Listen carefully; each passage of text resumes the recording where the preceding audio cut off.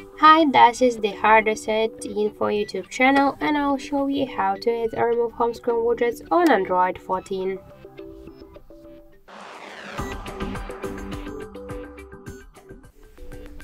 So to do that, we should hold for a while the home screen with our finger, then tap to the widgets icon here, here click now to get it. After that you will see here all of the available applications which widgets you could add. For example, we could see that the Home application got 4 different types of the widgets, the clock 5 of them. Let's for example add the calendar widget. Just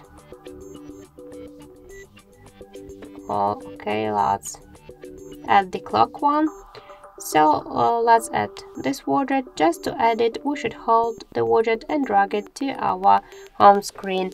We could also so here choose the clock style. For example, let's use the transparent and we could see that we just successfully added to our home screen. If you want a move widget here on the screen or between the screens, so we should just hold it and drag it by this way.